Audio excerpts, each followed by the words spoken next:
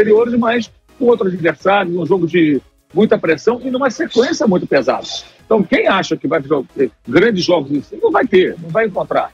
Em algum momento vai oscilar. Então, o Manchester City, que daqui a pouco vai estar aqui batendo bola nesse gramado, perdeu agora é, é, é, para o Brentford no, no, final do campeonato inglês. Deu uma relaxada, já era campeão inglês, ia para a final da Copa da, da, Inglaterra e depois a final aqui da Liga dos Campeões, e perdeu para um time que é ali da oitava, nona posição, quer dizer, um time que é inferior, e ganhou as duas vezes, aliás, é, nessa Premier League. Então, acho que o Flamengo fez um bom jogo ontem. O Racing foi um adversário bem chato, bem difícil, muito competitivo e que melhorou já nos últimos jogos, já vinha jogando melhor, já se imaginava essa dificuldade e acho que o Flamengo conseguiu uma vitória bem importante. Não foi um show de bola, mas a Libertadores não vai ser construída só com, com, com shows e com atuações históricas. Você vai ter dificuldade aqui e ali, e nesses jogos é importante saber é, encontrar soluções. Eu acho que o técnico e os jogadores as encontraram ontem uma vitória muito importante. Fala nação rubro-negra, tudo bem com vocês? Bom dia, sejam bem-vindos à Fly Geral e no vídeo de hoje a gente vai falar sobre um assunto muito polêmico, né?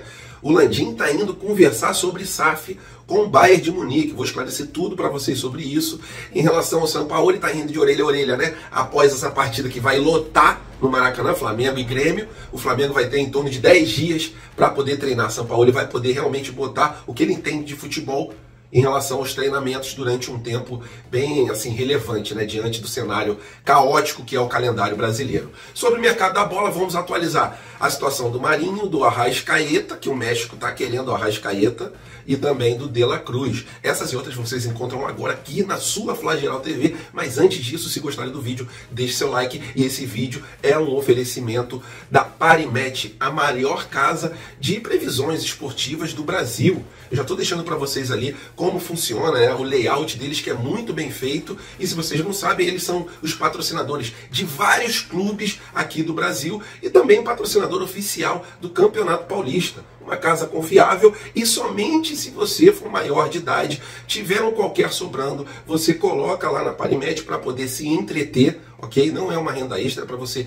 se entreter e se você ganhar, você consegue levar um trocadinho aí no bolso, ok? E em relação ao bônus, você consegue ele colocando esse cupom FLAG, que está aqui embaixo, e o site está fixado aqui no primeiro comentário. E vamos para as notícias, que é o que interessa. Incrível! Incrível! Nada é impossível! Isso aqui é Flamengo! E agora falando sobre o mercado da bola, fazendo aquele resumão para vocês, vou falar do De La Cruz, falar também do Arrascaeta e do Marinho. Vamos começar pelo Arrascaeta, né? Que é o assunto que a galera mais quer ouvir. E aqui não tem enrolação, eu jogo logo os assuntos que vocês querem ouvir no começo. Arrascaeta, ele tá ali sendo alvo do Monte Rei do México. O Monte Rei enxerga ele como o principal jogador para ser contratado na próxima janela. E eles querem realmente um jogador que tenha o estilo do Arrascaeta. Agora eu digo para vocês, galera, essa é a notícia aí de um portal lá do México, né? Eles vão vir com tudo para cima do Arrascaeta, mas a questão é a seguinte: vocês acreditam realmente que o Arrascaeta vai trocar o Flamengo pelo México para ir morar no México, para jogar no Monte Rei? Eu não enxergo isso de jeito nenhum, galera. Porque o Arrascaeta é um cara que é ídolo da nação rubro-negra, mais carioca do que ele impossível relacionado a alguém que veio lá do Uruguai. O cara ganha uma fortuna aqui, tem tudo do bom e do melhor, é feliz demais. E a multa dele é de 200 milhões de reais. O time do México não vai pagar 40 milhões de euros, né, que dá esses 200 milhões de reais, para o Flamengo. Eu duvido. E eu duvido também que o Rasqueta aceite essa proposta quando ela chegar. Então, galera, para quem está muito preocupado em relação ao Rascaeta, do Rascaeta sair, podem ficar tranquilos que ele não vai aceitar essa proposta, muito menos o time do Flamengo, tá? Mesmo se o Flamengo contratar o De La Cruz, não tem essa do Arrascaeta ir embora. Arrascaeta é um patrimônio nosso e a gente vai preservar o nosso patrimônio, ok? Então podem ficar tranquilos que o Arrascaeta não vai sair do time rubro-negro a princípio, só se uma catástrofe acontecer. E isso dificilmente acontecerá. Em relação ao De La Cruz, a situação ficou mais complicada. Após o Flamengo ter acertado a compra de 50% do passe do atleta com o Liverpool, do Uruguai, Agora o River Plate, após a vitória em cima do Fluminense, não quer mais vender o De La Cruz, desistiu de vender o De La Cruz. Aí eu te pergunto, e aí, como é que vai ficar a situação? O Flamengo deve ter se acertado com o Liverpool, mas com algum dizer ali, com alguma cláusula, né, para que caso ele não consiga comprar do River Plate, o Flamengo não tem que pagar o Liverpool. Então, complicada essa situação. Se alguém souber coloca aqui nos comentários sobre isso, mas saiu diversas notícias que o Flamengo já tinha comprado, né? 50% do passe do atleta. E se o River Plate não quiser vender o atleta, o atleta vai ficar no River Plate. Então é isso. Então o De La Cruz, a princípio, o River Plate não vai mais vender, não quer mais negociar o De La Cruz. Mas só que a gente sabe que a verdade de hoje do futebol pode ser a mentira de amanhã. Então o River Plate pode não querer vender agora, mas o atleta está insistindo em vir, já tem acerto com o time do Flamengo. Essa novela do De La Cruz ainda não terminou, apesar dessa notícia. E em relação ao Marinho, segundo a Jovem Pan, o atleta deu um passo bem grande para se acertar com o São Paulo. O valor que o São Paulo prometeu pagar a ele, o valor aumentou, deixando muito próximo né, do que ele quer receber. E agora o Flamengo está conversando com ele, com o São Paulo, e está conseguindo ver que realmente ele está com o pé fora da gávea. Vamos aguardar. Marinho é um atleta que realmente não está mais nos planos dos rubro-negros, tá? da diretoria rubro-negra, da comissão técnica rubro-negra, até porque o ato de, de indisciplina dele foi complicado, né? Ele ficou na sala, o pessoal chamando ele, terceira pessoa chamou ele, então foi bem desgastante se o atleta quisesse realmente continuar, viajaria com o elenco do Flamengo, conforme os outros também que estavam com dores viajaram. É isso, galera. Vamos aguardar. Está muito próximo de ir para o São Paulo, Marinho. E podem ficar tranquilos aí que o Arrascaeta vai continuar no time rubro-negro, apesar desse desejo mexicano. Agora um assunto que eu sei que incomoda vocês, que é sobre a SAF. Me incomoda também porque eu vejo o Flamengo com condições de não precisar vender nenhuma parte do clube, porque consegue se manter muito bem hoje em dia sozinho.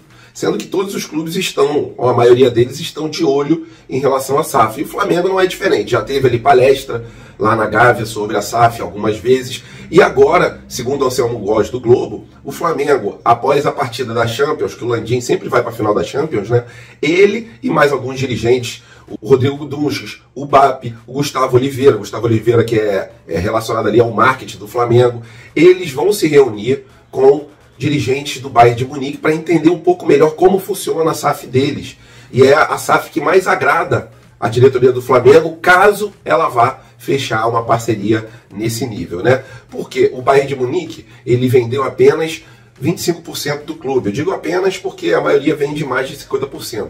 Então eles venderam 25% em relação a ações, né? Eles fizeram um molde diferente ali sobre a SAF. Eles pegaram e venderam 25% das ações para algumas empresas, dentre elas a Audi, se eu não me engano, a Adidas e mais uma empresa que não me vem à memória. Mas a principal relação é a seguinte, que o clube pode continuar gerindo o futebol, mandando embora, contratando sem a interferência da SAF. O clube continuaria com autonomia e os valores com certeza caso o Flamengo consiga ter continuidade a essa situação, vão ser valores astronômicos ali, entre 3 bilhões e 5 bilhões de reais, pelo menos.